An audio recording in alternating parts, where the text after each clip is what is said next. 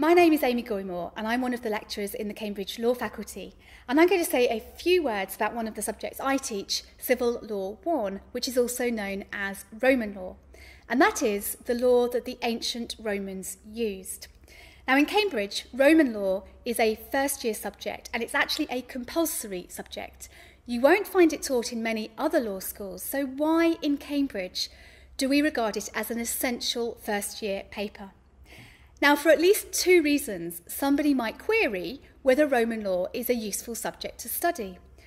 First of all, law tends to reflect the society it has to govern. Roman law obviously governed an ancient system, not England and not in modern times, so an ancient system from another country. So we might query whether Roman law is relevant at all. Secondly, Roman law was, compared to English law, a much more simplistic system. Its contents can be found in about four books, whereas English law spans several hundreds and thousands of pages in a library if you were to discover it in full.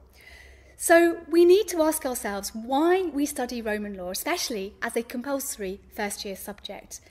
My aim in this short video is to look at those two concerns and to actually show you that neither of those two concerns actually holds and that actually Roman law is a relevant and fascinating subject and also a really important one to study if you want to be a really good law student.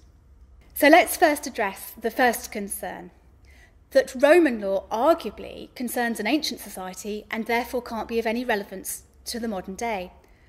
Well, that is true in part. For example, the Romans had slaves and therefore they had law to govern the holding of slaves. Thankfully, that's not relevant today. But actually, many of the factual scenarios that Roman law had to govern equally arise today. For example, people used to sell things, they used to have disputes over who owned things, they used to have disputes when one person injured another. We have exactly the same factual scenarios today, which English law also has to provide answers to.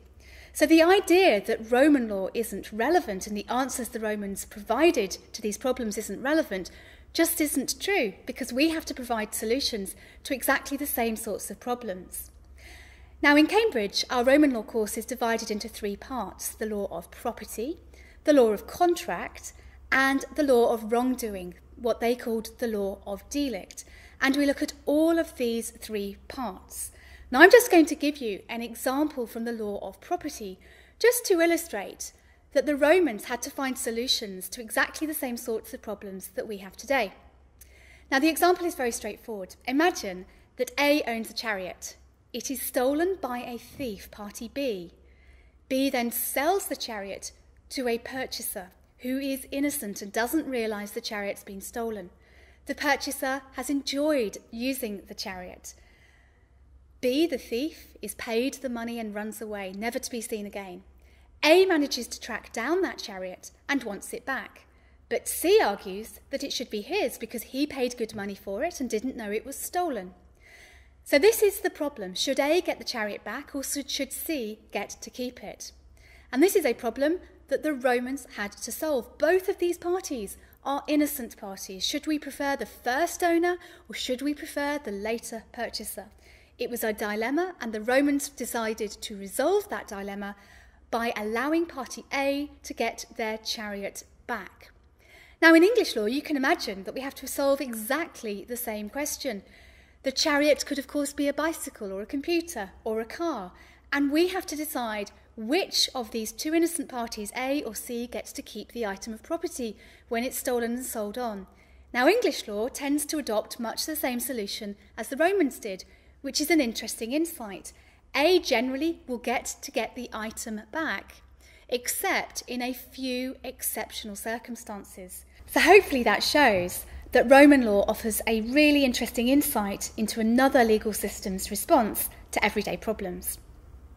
Now let's go back to the second concern that somebody looking at Roman law might have as to its relevance today. The idea that Roman law was a simplistic system compared to the many hundreds of pages that make up English law today.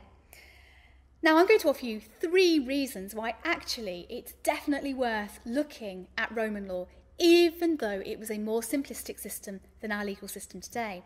First of all, it's actually a real bonus that Roman law can be found in just four books. This means that you can get to grips with a whole legal system in just one year, and you can get a really nice overview of the subject and how different parts of the subject actually fit together. You will never ever, even if you study and practice law for the rest of your lives, get to grips with the whole of English law. There's just too much of it.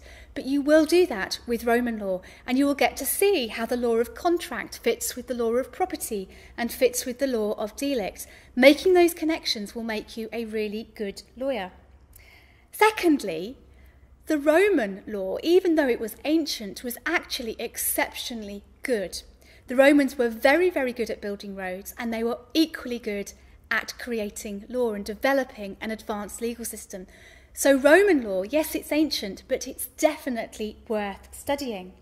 Thirdly, many European systems are directly built on Roman law. For example, German law and French law have directly built on Roman law when they created their civil legal code. So, if you ever wanted to go on and study those legal systems, having a base in Roman law would actually be very, very useful.